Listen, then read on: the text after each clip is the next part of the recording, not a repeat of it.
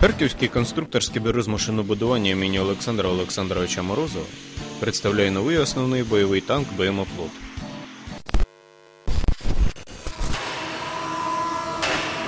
на наступний рік. Ми вже зараз передбачаємо е, мінімум е, 10 танків АПОД для того, щоб вже одна рота у нас була повністю укомплектована. Одні з найкращих танків, я би сказав, тільки в Європі і світі. Укроборонпром позиціонує оплот як найкращий вітчизняний танк.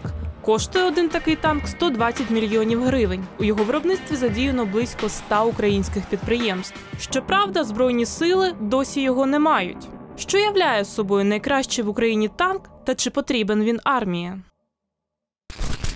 Оплот має потужніший двигун, який забезпечує більшу швидкість, більш досконалий захист, сучасну систему управління озброєнням. Це робить оплот значно дорожчим, проте й надає йому перевагу перед Булатом та іншими модернізованими танками, які Україна отримала в спадок від радянського союзу. Оплот був прийнятий на озброєння української армії ще 2009 року, проте збройні сили його не отримали. Замовлення Міністерства оборони на 10 одиниць не було виконано. На них не знайшли грошей у бюджеті. У 2014 році розгорілася війна на Донбасі. Військово-промисловий комплекс почав працювати на відновлення озброєнь, які Україна мала в наявності. Танки ремонтували і відправляли на фронт. Саме тоді гостро постало питання сучасних озброєнь для українських підрозділів, які виконували бойові завдання на сході. Здесь находятся танки, которые прошли с зоны боевых действий. Мы выполняем ремонт этих машин. Все танки Т-64Б и прочие модификации, они выпущены из завода Балша. Щодо виробництва оплотів для української армії було багато дискусій, які затяглися на кілька років. Ще на початку 2017 року президент вважав, що виробляти дорогі та складні танки в умовах війни нераціонально, адже можна за ці ж кошти модернізувати наявні машини до булатів. або один оплот, або 10 глибоко модернізованих і капітально відремонтованих 64-ок або 80-ок. Нам треба в першу чергу забезпечити танкові підрозділи за надзвичайно короткий термін.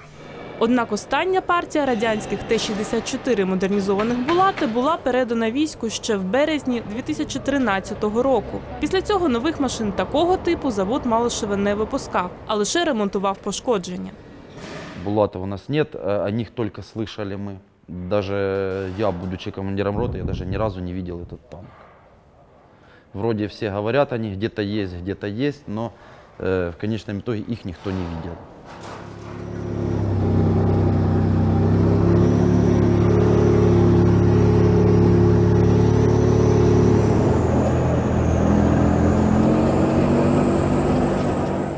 Ігор командир танку в зоні АТО з 2016 року. Його бойова машина радянський Т-64, якому близько 40 років. Згідно з мінськими домовленостями, важка артилерія участі у бойових діях не бере. Тому танк, яким командує Ігор, наразі перебуває у зоні відведення.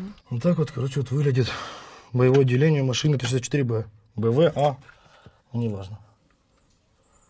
Танка можно прорвать любую оборону. Калибра этого хватает вполне, 125-й. Вот мотора не хватает. Тут насколько все вот укомплектовано, ни лишнего нету. Ну, добавить разве что двигатель с булата можно и все. Летом очень тяжело, очень быстро нагревается. Если вдруг необходимо будет очень быстро выйти из боя и проехать очень большое расстояние, э, не факт, что старые двигателя выдержат эти переходы. Очень сильно греются машины. Ну, как бы и уже лет 40 машине. Если вовремя все обслуживать, ухаживать, еще она может отъездить лет 20 точно. С начала э, конфликта на востоке Украины они еще не про ни одна из этих машин не прошла ни одного технического обслуживания, как этого требует, и ни одного капитального ремонта. Техническое состояние хотелось бы желать лучшего. У липні президент підписав указ про виділення додаткових 300 мільйонів гривень на перші 10 оплотів для збройних сил. Щоправда, отримають нові танки військові ймовірно лише в 2019 році. Танки оплот для Таїланду танки для України це два е, різні проекти. Впродовж року завод Малишева починає готувати виробництво. Це весь 18 рік на це піде. А потім з темпом один танк на місяць вони будуть постачати ці танки до збройних сил. Тобто, фактично, через два роки ми отримуємо е, танкову роту вартістю 1,2 мільярди гривень. Вартість одного оплота 120 мільйонів гривень. Вартість одного булата 17 мільйонів гривень. За 1,2 мільярди гривень можна забезпечити одну танкову роту оплотами або сім танкових рот булатами, які на озброєнні сухопутних військ є. Немає потреби вкладати багато часу і грошей в оплоти. Якби Україна їх отримала, вони б не дали якихось визначних результатів на полі бою. В разі найгіршого сценарію, тобто повномасштабних бойових дій з Росією із застосуванням її звичайної зброї, Росія напевно зможе просто розгромити українські танки. У вашій ситуації краще мати більше простих танків ніж кілька дуже дорогих. Поки ми не виробляємо оплоти для власних потреб, продовжується їхній експорт за кордон. 2011 року Україна підписала контракт на поставку 49 машин в Таїланд на загальну суму 200 мільйонів доларів. За даними Укрспецекспорту, завод імені Малишева отримав ці кошти в повному обсязі. Вони, за словами компанії, мали піти на розбудову танкобудування. Проте через кількаразовий зрив термінів виробництва замовлення виконується й досі.